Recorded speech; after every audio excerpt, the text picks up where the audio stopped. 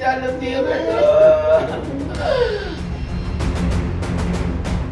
ਬੇहद ਮੰਦਭਾਗੀ ਖਬਰ ਸਾਹਮਣੇ ਆ ਰਹੀ ਹੈ। ਜੁਲਾਈ ਮਹੀਨੇ ਦੇ ਵਿੱਚ ਕੁੜੀ ਦਾ ਵਿਆਹ ਹੋਇਆ ਸੀ ਤੇ ਹੁਣ ਉਸੇ ਨੇ ਹੀ ਫਾਹਾ ਲੈ ਕੇ ਖੁਦਕੁਸ਼ੀ ਕਰ ਲਈ ਹੈ। ਸੋਰੇ ਪਰਿਵਾਰ ਤੇ ਇਲਜ਼ਾਮ ਲੱਗ ਰਹੇ ਨੇ ਦਹੇਜ ਮੰਗਣ ਦੇ ਅਤੇ ਤੰਗ ਪਰੇਸ਼ਾਨ ਕਰਨ ਦੇ। ਤਾਂ ਦੱਸ ਦਈਏ ਕਿ ਨਵ ਵਿਆਹੁਤਾ ਨੇ ਸੁਸਾਈਡ ਕਰ ਲਿਆ। ਇਹ ਵੱਡੀ ਖਬਰ ਹੈ, ਲੁਧਿਆਣਾ ਦੇ ਸ਼ਿਮਲਾਪੁਰੀ ਇਲਾਕੇ ਤੋਂ ਸਾਹਮਣੇ ਆ ਰਹੀ ਹੈ, ਜਿੱਥੇ ਨਵੀਂ ਵਿਆਹੀ ਮਹਿਲਾ ਨੇ ਸ਼ੱਕੀ ਹਾਲਾਤਾਂ ਦੇ ਵਿੱਚ ਫਾਹਾ ਲੈ ਕੇ ਖੁਦਕੁਸ਼ੀ ਕਰ ਲਈ ਹੈ।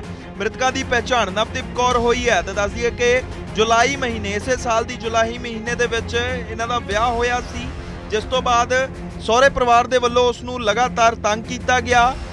ਦਹੇਜ ਨੂੰ ਲੈ ਕੇ, ਜਿਸ ਤੋਂ ਬਾਅਦ ਔਮਨ ਸੈੱਲ ਦੇ ਵਿੱਚ, ਲੁਧਿਆਣਾ ਦੇ ਔਮਨ ਸੈੱਲ ਦੇ ਵਿੱਚ ਇਹ ਕੇਸ ਵੀ ਚੱਲ ਰਿਹਾ ਸੀ ਤੇ ਹੁਣ ਕੁੜੀ ਨੇ ਸੁਸਾਈਡ ਕਰ ਲਿਆ। ਜੀ ਹਾਂ ਨਵ ਵਿਆਹੁਤਾ ਨੇ ਸੁਸਾਈਡ ਕਰ ਲਿਆ ਏ ਮ੍ਰਿਤਕਾ ਦੇ ਰਿਸ਼ਤੇਦਾਰ ਨੇ ਦੱਸਿਆ ਕਿ ਜੁਲਾਈ ਮਹੀਨੇ ਦੇ ਵਿੱਚ ਵਿਆਹ ਹੋਇਆ ਸੀ। ਬਾਅਦ ਦੇ ਵਿੱਚ ਪਤਾ ਚੱਲਿਆ ਕਿ ਲੜਕਾ ਦਿਮਾਗੀ ਤੌਰ ਤੇ ਬਿਮਾਰ ਰਹਿੰਦਾ ਹੈ।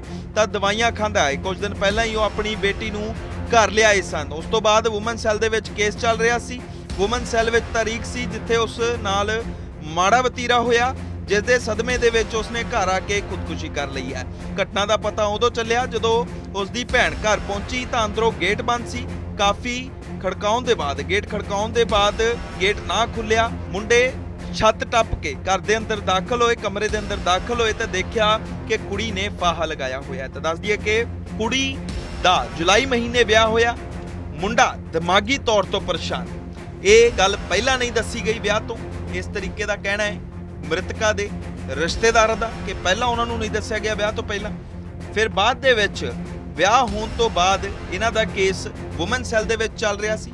ਅੱਜ ਤਰੀਕ ਸੀ ਤਾਂ ਕੁੜੀ ਦੇ ਨਾਲ ਔਮਨ ਸੈੱਲ ਦੇ ਅੰਦਰ ਇਹ ਇਲਜ਼ਾਮ ਲੱਗ ਰਹੇ ਨੇ ਕਿ ਔਮਨ ਸੈੱਲ ਦੇ ਅੰਦਰ ਮਾੜਾ ਵਤੀਰਾ ਕੀਤਾ ਗਿਆ ਜੋ ਸਦਮਾ ਉਸ ਨੂੰ ਗਹਿਰਾ ਲੱਗਿਆ ਜਿਸ ਕਰਕੇ ਉਸਨੇ ਇਹ ਵੱਡਾ ਕਦਮ ਚੁੱਕਿਆ। ਆਓ ਰਿਸ਼ਤੇਦਾਰ ਦੇ ਕੋਲੋਂ ਹੀ ਜਾਣਦੇ ਹਾਂ ਕਿ ਪੂਰਾ ਮਾਮਲਾ ਕੀ ਸੀ ਅਤੇ ਉਹ ਕਿਸ ਨੂੰ ਇਸ ਮੌਤ ਦਾ ਜ਼ਿੰਮੇਵਾਰ ਠਹਿਰਾਉਂਦੇ ਨੇ।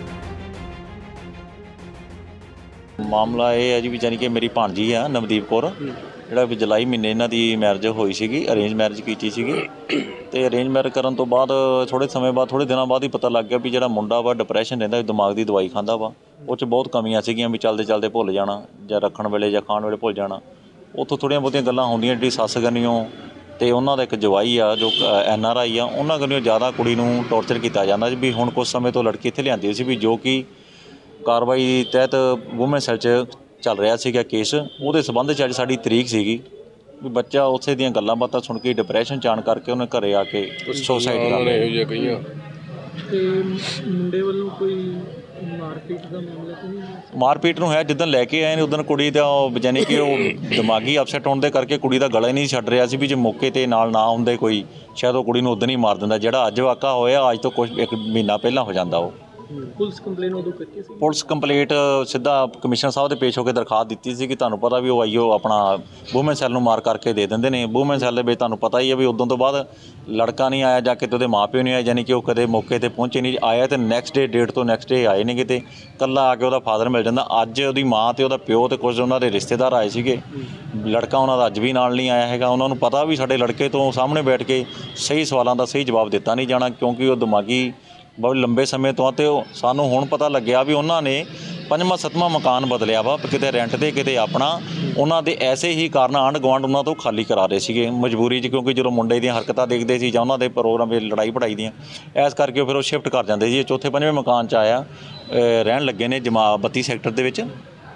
ਤੇ ਸਾਨੂੰ ਹੁਣ ਪਤਾ ਲੱਗਿਆ ਵੀ ਮੁੰਡੇ ਵਿੱਚ ਇੰਨੀਆਂ ਕਮੀਆਂ ਸੀਗੀਆਂ ਇਸ ਘਟਨਾ ਦੀ ਸੂਚਨਾ ਕਦੋਂ ਮਿਲਦੀ ਹੈ ਕਿਸ ਤਰ੍ਹਾਂ? ਸੋਚਣਾ ਤੇ ਮੈਨੂੰ ਅੱਜ ਮੇਰੀ ਭੈਣ ਨੇ ਕਾਲ ਕੀਤੀ ਜਦੋਂ ਉਹ ਮਿਸਲ ਤੋਂ ਆਪਣੇ ਆਪਣੇ ਘਰ ਆ ਗਏ ਆ ਤੇ ਮੈਂ ਹਜੇ ਘਰ ਜਾ ਕੇ ਬੈਠਾ ਹੀ ਆ 5-4 ਮਿੰਟ ਤੇ ਜਦ ਨੂੰ ਥੋੜੀ ਦੇਰ ਬਾਅਦ ਸਾਡੀ ਕੁੜੀ ਇੱਥੇ ਪਹੁੰਚ ਜਾਂਦੀ ਹੈ ਘਰੇ ਆਪਣੇ ਇਹ ਸਬਜ਼ੀ ਲੈਣ ਚਲੇ ਜਾਂਦੇ ਤੇ ਜਦੋਂ ਵਾਪਸੀ ਆਇਆ ਤੇ ਗੇਟ ਲੱਗਿਆ ਹੋਇਆ ਸੀਗਾ ਬਾਹਰਲਾ ਮੇਨ ਗੇਟ ਅੰਦਰਲੇ ਖੁੱਲੇ ਸੀਗੇ ਤੇ ਗੇਟ ਖੋਲਣ ਦੀ ਕੋਸ਼ਿਸ਼ ਕੀਤੀ ਲੋਹੇ ਦਾ ਗੇਟ ਆ ਖੁੱਲਿਆ ਨਾ ਮੁੰਡੇ ਨੇ ਉੱਪਰੋਂ ਜਾ ਕੇ ਫਿਰ ਦੇਖਿਆ ਵੀ ਅੰਦਰ ਕੁੜੀ ਨੇ ਸੁਸਾਈਡ ਕੀਤਾ।